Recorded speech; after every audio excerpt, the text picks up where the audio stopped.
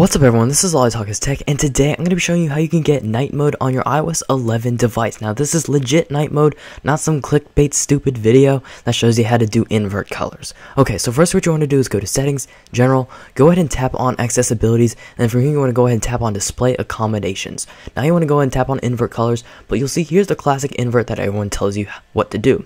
This is smart invert, which basically inverts all the colors that are white to black. So this is smart invert colors, and you can see my dock actually changes to the blue color. I don't know what why that is, but here you can see my notifications are darker color, which looks amazing.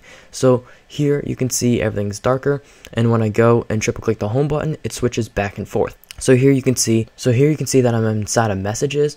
Everything's black and opposite, but here's the thing the images are normal. So this is called Smart Invert Colors, and this is the new dark mode, which is really cool. I'm really excited to see this. You can see the volume HUD is dark as well. And if you go to settings, general, accessibilities, and scroll down to accessibility shortcuts, go ahead and tap on smart invert colors and then whenever you triple click the home button it'll actually activate this feature so that is how you get basically the new night mode on ios 11 thank you so much for watching and as always peace